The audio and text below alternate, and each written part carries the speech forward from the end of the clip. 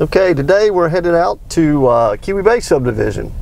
Kind of give you a feel for this neighborhood, north end of the lake, up near Turtle Head. Uh, waterfront and interior properties is gated. Older neighborhood, 20 plus years of age. You'll see some different homes. Uh, there's a home in here, uh, you know, from the 1800s on the water. Uh, and then uh, we've got newer homes that are built, being built in the 2000s. So let's go ahead. We come in the neighborhood, you can turn right. Let's go ahead and turn right. I want to take you down by the um, boat ramp and uh, little club, not a clubhouse, but just a little outdoor area that we have uh, here in Keowee Bay. You have boat storage, which is going to be coming up on the right. So if you're a property owner in Keowee Bay, yeah, you can store your boat here in the summertime, wintertime if you'd like. It's over here to our right. We'll look at that in just a minute. We've got several streets in the neighborhood. Won't be able to cover all the side streets today, but this just to kind of give you an over overall feel for the community. Got a new home going in here on our left, and we'll look at these by water later on. Just try to cover some of the roads today.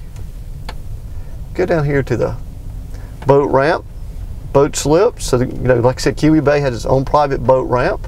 A lot of communities on the lake. Uh, majority of them do not. Keowee Bay is one of them that does.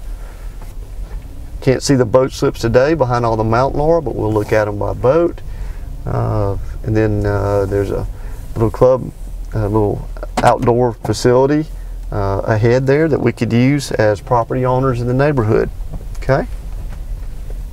Got over a hundred, hundred home sites here in Keowee Bay water and interior and most of the a lot of the interior lots do come with deeded boat slips. So this is some of our boat slip storage to the left and then we have another another big uh, boat storage uh, facility here. Not covered just an outdoor facility.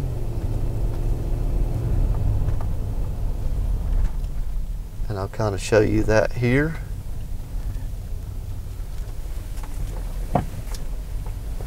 So we could park several, probably 30, 40, 50 boats in there.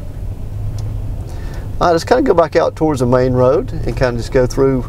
Uh, like I said, we can't cover all the streets today, but uh, we're going to try to just give you a good feel for the neighborhood itself. A lot of trees, a lot of hardwoods, nice northern northern end Lake Keowee feel. Nice interior home there on the right. And we're back to the gate now where we came in. Let's just kind of go straight here. Most of these homes that you're going to see here on the uh, coming in on the left and right will be interior homes.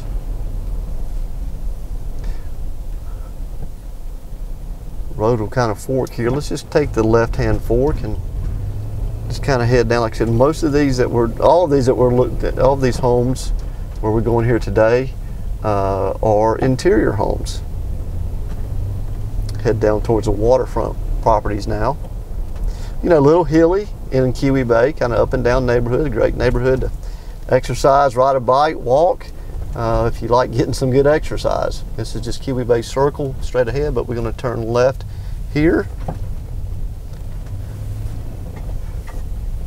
And uh, got a nice little, uh, got a nice little pond here in the community, about a two, about a one and a half, two acre pond.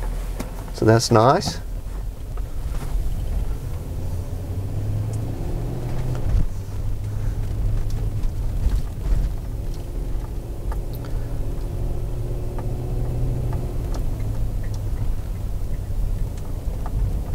And right now we're on Inland Drive. Excuse me, Inland, Inland Drive just turned off to the left, I'm sorry.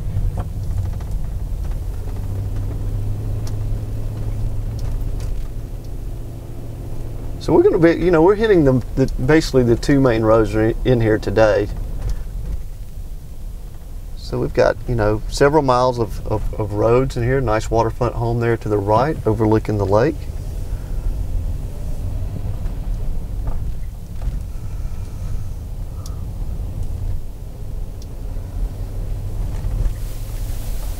So with over, you know, 100 properties here in Keowee Bay, it's it's a pretty it's a pretty large community for the north end of the lake, outside of like the cliffs and the reserves, for it to be over 20 years of age.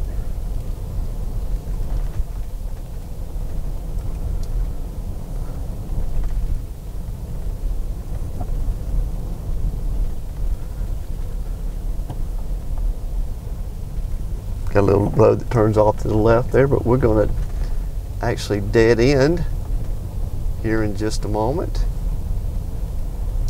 and come to the end of Keowee Bay.